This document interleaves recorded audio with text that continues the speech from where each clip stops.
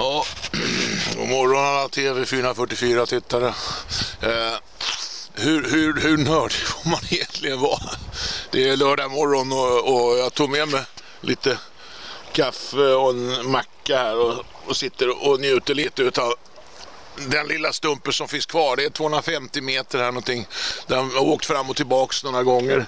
Tio gånger kanske man hör vågskvalpet och man kan nästan tro att man är ute, om man blundar kan man tro att man är ute i havsbandet någonstans. Men i alla fall så, ja det finns faktiskt små isnuttar här och där och Bråvallaskinnarna hade ju en tur idag också läste jag någonstans. Och eh, som sagt var, det har varit en fantastisk säsong. Tjusgrinnarna här i Västervik har ju haft 40, bortåt 45 turer på en säsong på 70 dagar och det är inte dåligt. Och 99 gånger utav 100 när vi sticker ut och chansar så hittar vi någonting att åka på. Så att det har varit en fantastisk säsong med skärgårdsisar som salsgolv och eh, skinnsjöar och kanske på del sjöar flera gånger om. Men det har varit en, här, som sagt, en härlig säsong och det, det, det är därför som man ger sig ut och sitter här och drömmer om hur det, hur det, hur det har varit under säsongen här nere vid sjökanten. Men jag sitter väl kvar en stund till och så får vi se. Men imorgon, jag vet inte om man lyckas få med mig någon, men idag fick jag med mig en snubbe i alla fall. Så att, eh, ja, vi får väl se. Vi hoppas väl och syns. Om inte annat så syns vi till nästa säsong. Och